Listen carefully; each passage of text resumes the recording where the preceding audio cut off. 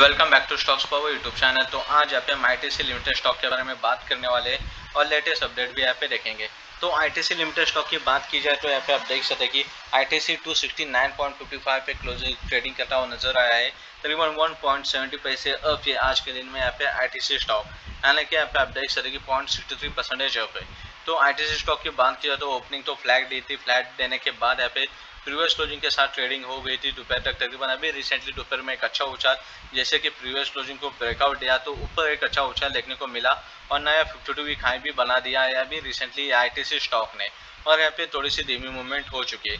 जैसे कि यहाँ पे ओपन हुआ था 268.75 पे आज के दिन में और लो बना हाई बनाया था 273.15 का और लो है तकरीबन 266 का। मार्केट कैप भी देख सकते हो 3.32 लाख करोड़ का मार्केट कैपिटलाइजेशन है। पी रेशियो देखा जाए तो 22.45 का है और डिविडेंड यील्ड है तकरीबन फोर परसेंटेज का, जो कि बढ़िया है। तो पिछले पाँच दिनों में करीब यहाँ पे पॉइंट फोर्टी वन परसेंटेज की रैली की है आईटीसी ने। और तकरीबन वन मंथ की भी बात की जाए तो लास्ट वन मंथ में फोर्टीन परसेंटेज ऑफ़ यानी कि थर्टी थ्री पॉइंट की रैली कर चुका है अभी तक आईटीसी स्टॉक यहाँ पे आप देख सकते हो। तो आईटीसी की चार्ट एनालिसिस भी देखा जाए तो मंथली जो रजिस्टर वन है उसको यहाँ पे देख सकते कि फ्राइडे के दिन रजिस्टर लिया था। आज उसी रजिस्टर वन को ब्रेक करके उसका सपोर्ट लेके थोड़ा सा बाउंस बैक दिया है।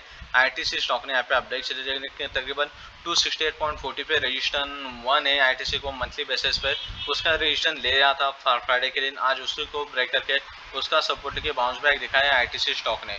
तो ऊपर यहाँ पे आप देख सकते थोड़े से 280 लेवल तक तो जाने के चांसेस दिखाई दे रहे यहाँ से ऊपर यहाँ पे आईटीसी सेटल होता है 270 लेवल के ऊपर तो। तो ये लेटेस्ट अपडेट यहाँ पे आप देख सकते हैं आईटीसी स्टॉक के लिए।